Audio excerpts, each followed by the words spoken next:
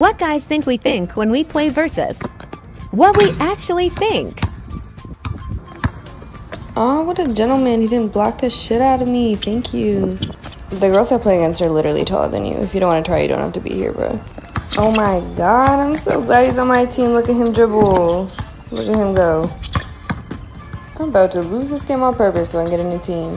Guy, pal, trust me. You're not that guy. Oh my god, a layup. I hope I make it. Oh, thank god. Oh, he's so supportive. Thank you. Finally, he passed it. Bro, it's, it's a layup, bro.